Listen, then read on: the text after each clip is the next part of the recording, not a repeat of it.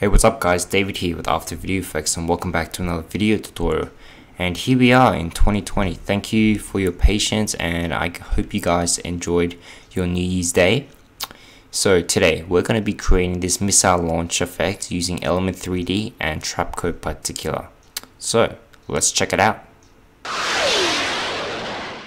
Okay, so pretty simple. Uh, we just got a still background and we got a nice solar flare representing the sun and yeah just some uh, easy stuff today. So let's go ahead and make a new comp. We're gonna call this missile launch. And we'll make it full HD and we'll only make it like two seconds. Hit OK next we're gonna make a new like solid and I'm gonna make it red and call this E3D let's go ahead and get our element 3D layer. And let's jump into scene setup. Okay so here we are in element 3D so I'm gonna go and search for my missile. It was in the projectile weapons section. So I might just extend this out a bit. And let's go and get this one. And this is the missile I used. So just one. And for the background environment I used uh, the first one.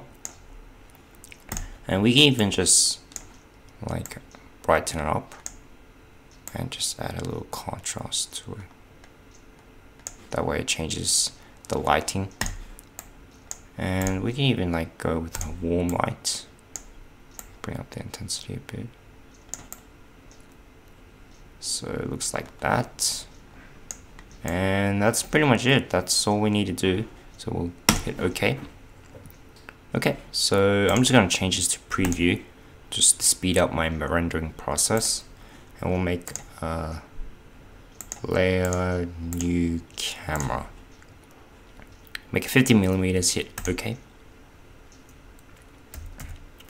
Now we want to uh, just get the back of the missile.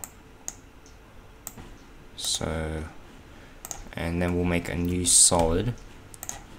We'll make it black. I'll call this smoke and we'll get the trap code particular. And we'll just shut that eye for now. And we're just gonna go in here to the utility sections. And we're gonna click this little target icon. And we're just gonna click the back of that. And we want to generate a new null object. So now there's a position on null object, sorry, behind the ignition area. And okay, so now we want to make a layer new light. We'll make it point zero percent. And then we're just going to copy the position properties onto our light. So now our light is in the exact position of our null object. So we can just go ahead and delete this null object now. Okay, so let's go ahead and change it from emitter type from a point to light. That's okay. And we're going to choose name and we're going to call it light one. Just make it the exact same um, name as your light. Hit OK. And we're just going to drop all these settings down to zero. So velocity all to zero and even the emitters to zero. Okay. And we're going to change it to none. Okay and then we're going to create a group null. And we'll call this missile movement okay and then we're just gonna hit P, stop the hit the stopwatch, and just move forward and just push it out. Okay, and let's just get a better camera angle.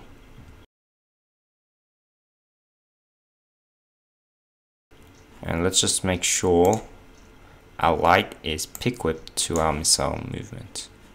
So there, there we go. Now it's pick whipped. And clearly we're very off, so we can just slide this Z uh, in front of the ignition area. So if we just slide it closer and closer, there's pretty good. So if we take a look at this,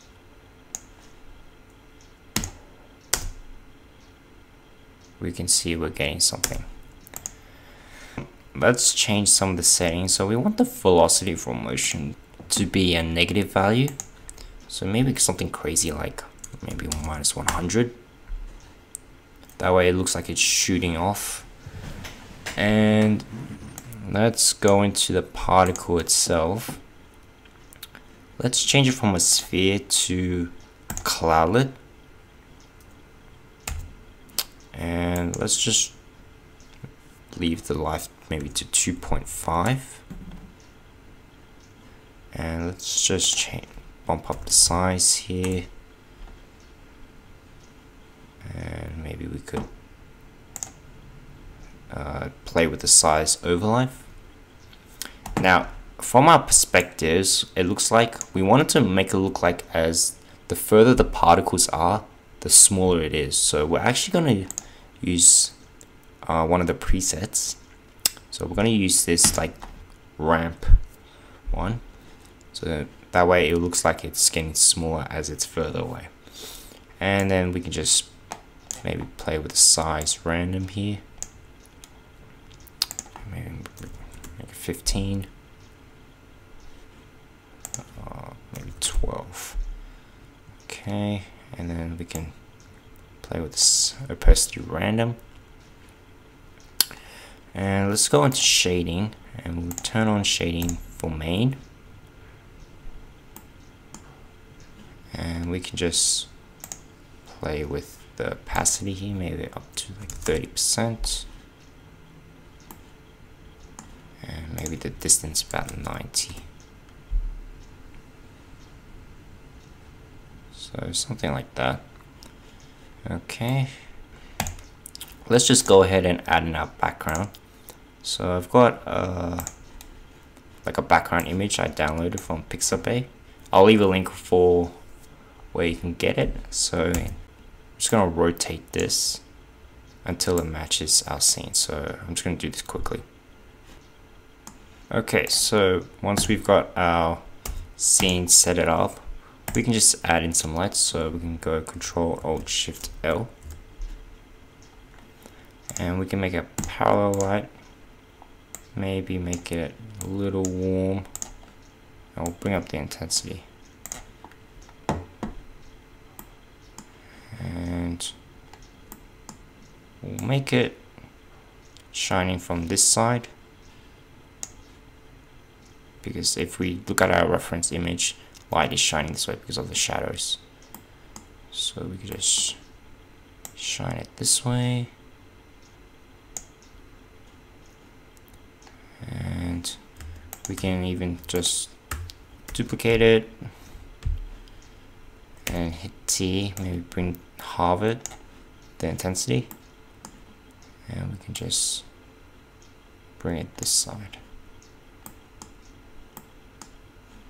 Maybe about 100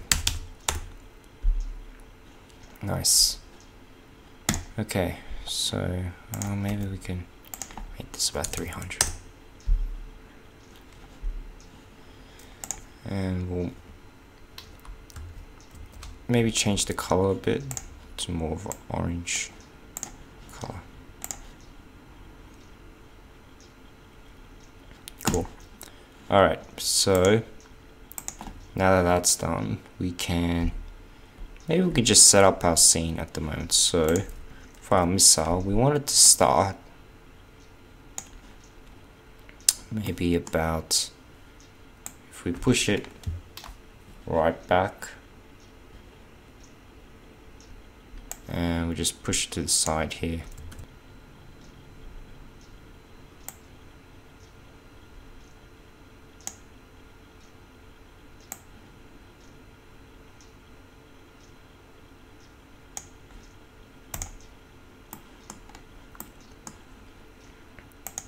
Then as it comes,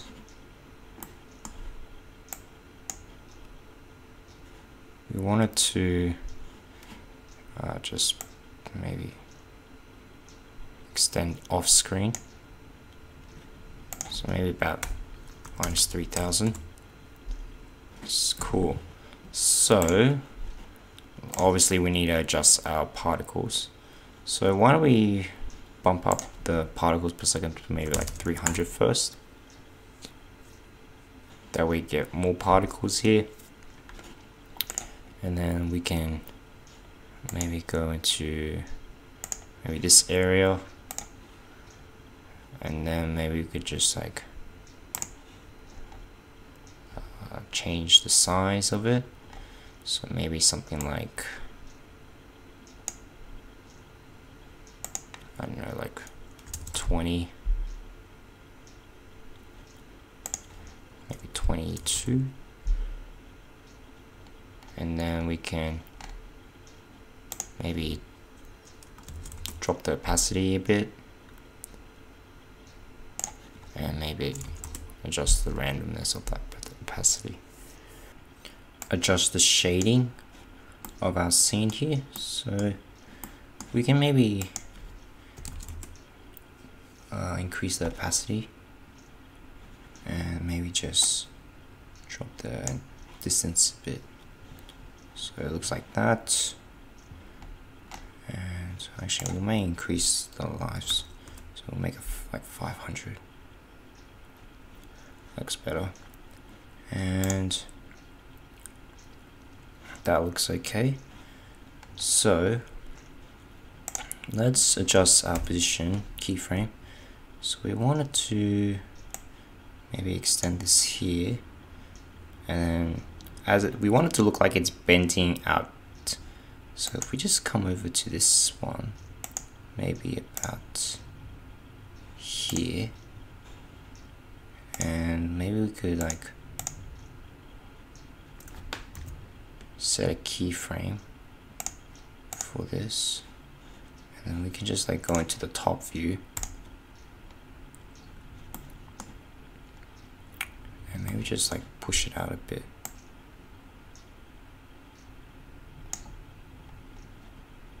So it looks like a Bezier warp, if you guys see that.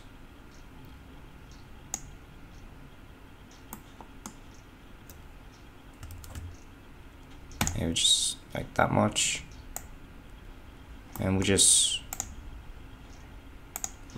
relink it to make it uh, match with our scene here.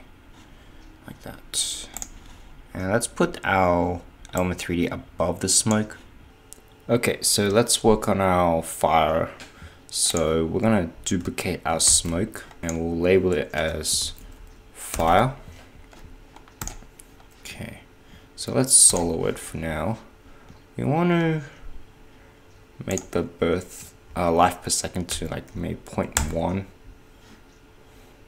so we just have this small ignition here. And we want to just change it back to this size. Let's change it from cloudlet to sphere. And let's just bring the size up even more here. And let's change the color to more of an orange fiery look. That. And let's just turn off the shading for this. And let's set the blending mode to add. And we can see something happening already. Let's set the whole layer to screen.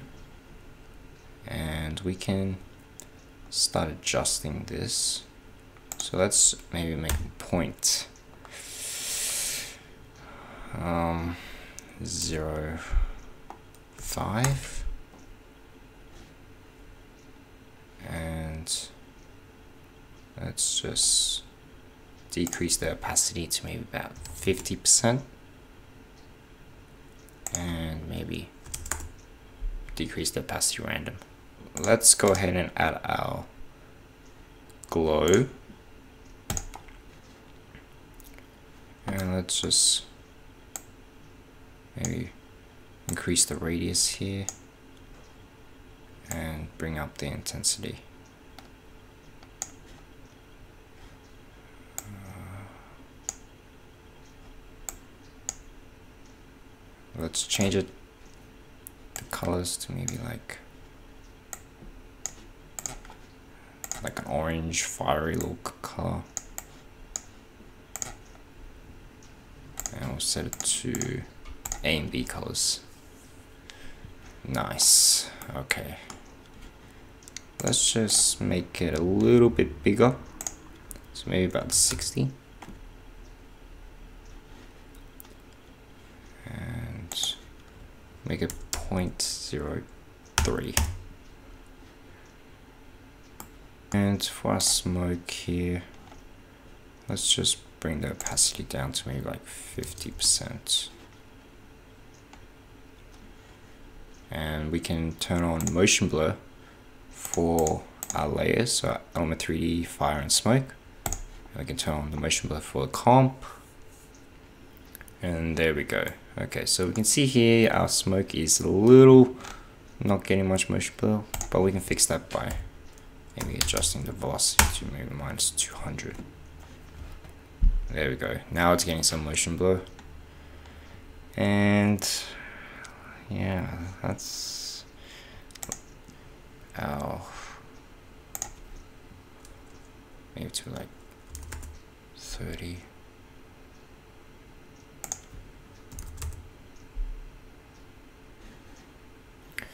Okay, so as you can see, it's just a matter of adjusting like our settings here for what suits the background. So even though um, I'm still adjusting these um, settings, even though I thought the settings were perfect, but turns out it's not. So it's just a matter of, of just trial and error. Okay, so once you're pretty much happy with your scene, we can go ahead and add some dust wave elements. So I'm using Video Copilot's dust wave. So let's just drag this into our comp here. Let's shut the eye off for now. And let's just see. Around here, I want the dust waves to start coming. So I'm just gonna time stretch it. I'm gonna drop it down to like, I don't know, 25.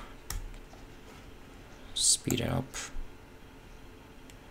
so around about here and then we could just adjust this one. So let's have a look at this. So let's just scale it up until it fits in our comp here.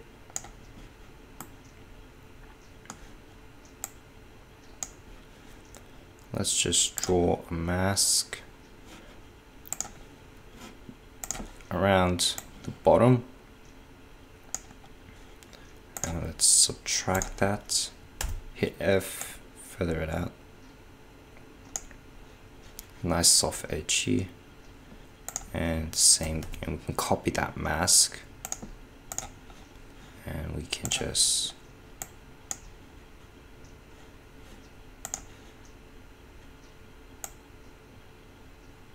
extend it out. We can even mirror it. So it looks like that. And we can just uh, subtract that F, feather it out. Uh, okay. We can even overlay these, so maybe screen. And let's check out. Nice. Okay. Alright, so maybe I can just uh, add a bit of a tint effect. So color correction tint. Maybe drop down to 50%. Same goes for our other dust element. Cool. Okay, so let's add in two adjustment layers, Control Alt Y, Control Alt Y. Let's name this one CC and this one vignette. Alright, let's just do our vignette first. So let's get a curves here. And just drop that down. And let's double click the ellipse mask tool, subtract it, hit F, and just feather it out. Quite a bit, like maybe 500. Nice. Okay. And we'll add that same curves. We'll add tint as well. Okay, so maybe we could drop that to like 20%. And we'll add a little bit of rich contrast to this.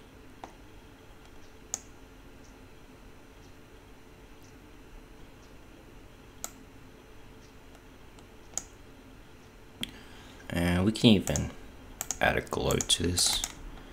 So we can go stylize glow.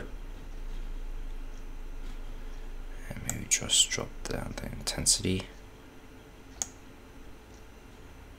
And bring up the threshold here.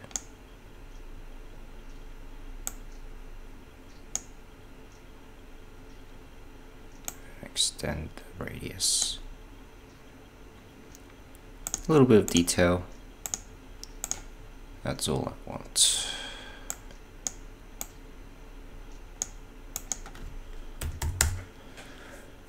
Alrighty, okay. One last final uh, detail is our flare, so control Y. Hit OK. I'll just rename this as flare.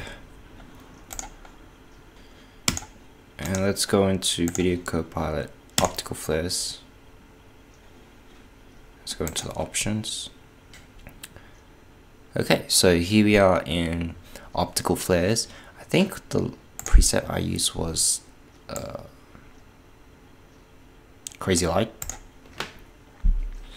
And then I just turned off some of these, you know, all these green stuff. So like iris, all this hoops, all that kind of stuff. I didn't really like it, honestly. Uh, just didn't find it that helpful. So this is just the light itself. Hit OK. And then just place it somewhere about in the top left corner. And there you go. Okay, so that's pretty much it um, for the tutorial. If you want to change your motion blur, you can just hit Control K and then go into advanced and you can change your motion blur settings here. Or if you want, you can just um, go into the particles itself and there's a, uh, if you go into rendering, motion blur, and you can just change it to the own settings in particular, but I'm just going to leave as the comp settings for now. Okay, so guys, man, I am so glad to be back here making tutorials for you guys. But anyways guys, my name's David. I hope you learned interesting techniques that you can use for your own creations. Please give a like if you like this video, subscribe if you want to see more, and comment down below if you have any questions. And I will see you in the next video.